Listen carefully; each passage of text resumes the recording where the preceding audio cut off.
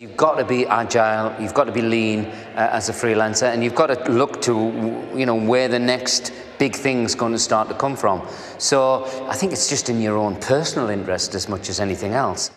I'd like to start really by just uh, telling the story of the, the CEO from a very well-known um, multinational corporation who was asked how many people worked for his company. And he said about half of them. Um, and actually, he was probably being a bit over generous because there are about 3 billion people uh, who are employed around the world. Um, and out of those 3 billion, there's a measly 13% who would say that they were engaged in the work. The bigger question is why isn't work working now for people? Um, and we know it's not working because of the phenomenal rise in freelancing.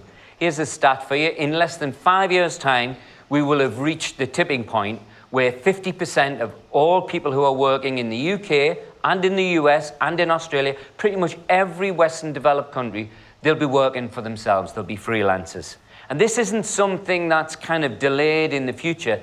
This is starting to happen now. The future is going to be a freelance future. Most companies now in Britain are small and medium-sized enterprises, and that's how it's going to be. And I started as a freelancer, I was a professional musician. Then I worked in um, organisations for a long time. Um, and I always felt a little kind of constrained by that. And there's, there's something in me which is kind of kicks against the intuitive, uh, and I go for the counterintuitive usually.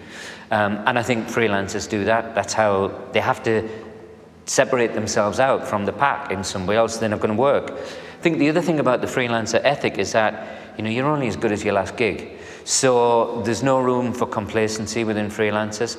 How does that apply to clients that we're working with? I think all organizations have to get a sense of the, the jargon name for it now is intrapreneurship. You've got to bring that external kind of entrepreneurial spirit, but, but make it work within a company because the rate of innovation is accelerating so much that if as soon as people start to coast and think that you know they're in a job which is safe then it, it's not going to help that creativity and that, that need for innovation.